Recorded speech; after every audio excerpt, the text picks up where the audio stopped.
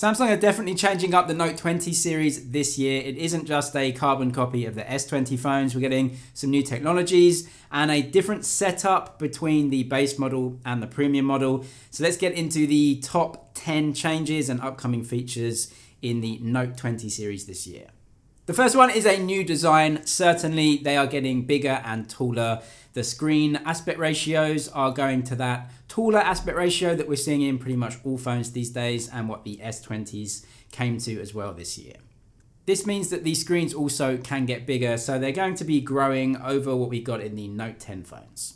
All in all, this change just brings them in line to what we're seeing with really modern phones having these tall aspect ratios and when turned on their side you can watch videos in those wider ratios so definitely a good thing overall for me in both the Note 20 and the upper end phone which may be called the Note 20 Plus or the Note 20 Ultra I guess we'll have to wait and see what Samsung want to call it in the end.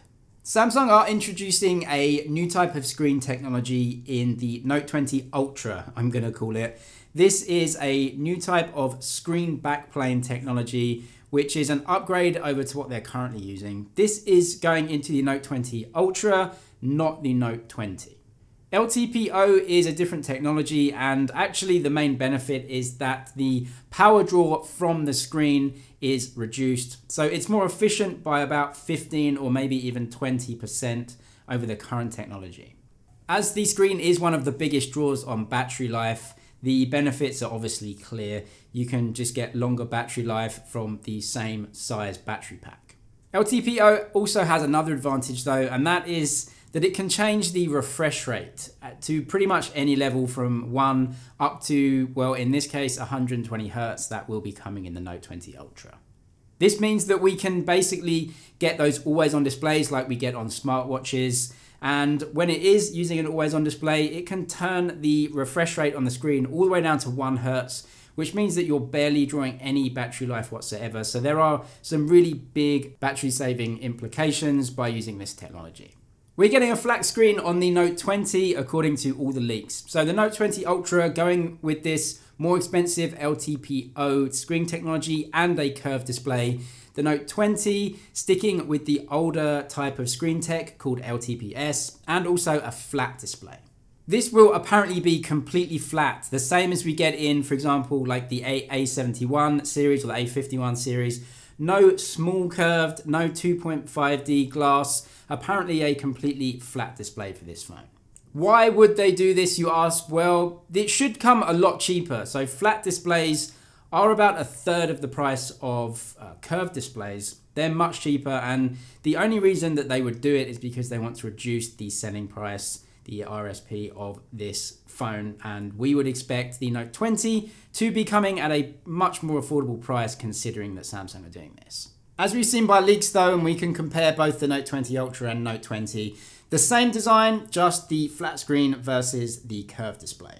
All in all, the information for the Galaxy Note 20, that's the base model, shows us that the screen definitely is not what we would consider the really high-end flagship screens from Samsung. So a full HD resolution, not a quad HD resolution, and according to Ice Universe anyway, 60 hertz refresh rates. That means no high refresh rates like we are getting on the Note 20 Ultra and also the entire Galaxy S20 series that would definitely be a different approach from Samsung, having a flagship product with really sort of high mid-range end specs. So that's what leads me to believe that this Galaxy Note 20 base model is just going to be a cheaper phone all around.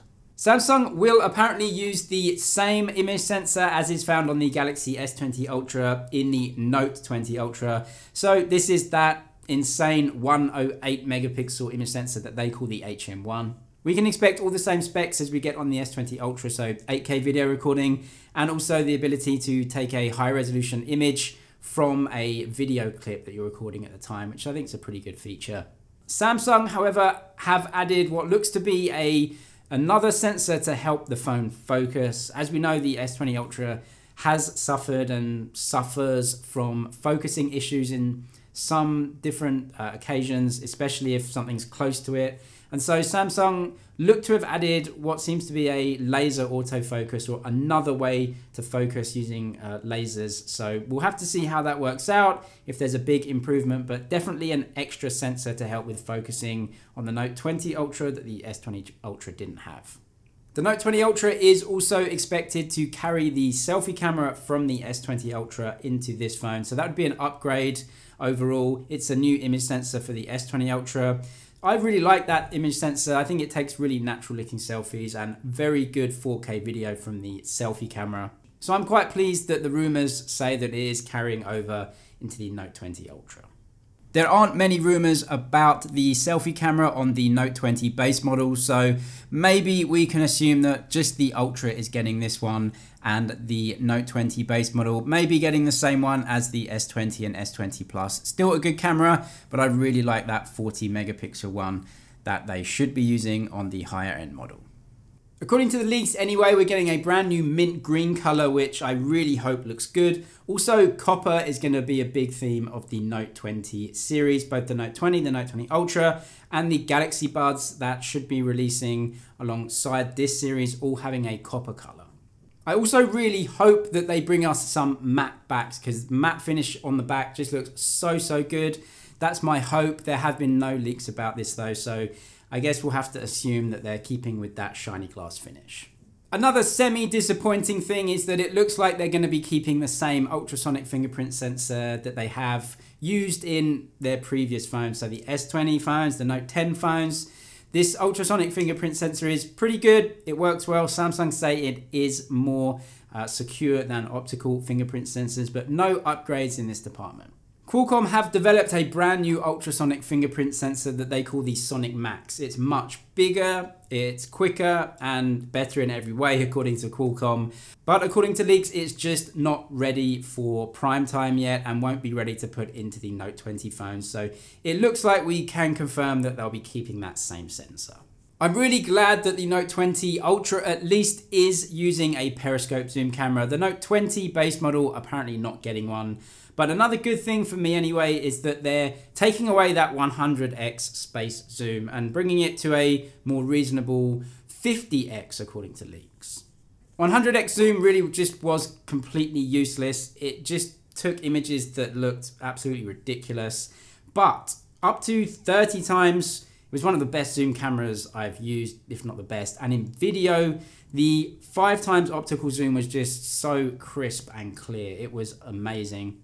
However, it is changing on the Note 20 Ultra. Instead of using a 48 megapixel sensor under there like the S20 Ultra does, they're going for a 13 megapixel sensor. So some differences in the uh, image resolution, but they're not pushing it to 100 times, so it may actually work out being a higher quality image overall. We'll just have to wait and see what the image quality is like and the zoom range is like before really knowing how it's going to be compared to the S20 Ultra. And at number 10, we've had a ton of rumors regarding a possible upgrade in the chipset, at least for the Exynos versions. And we know all the troubles that Samsung have had this year with Exynos chipsets.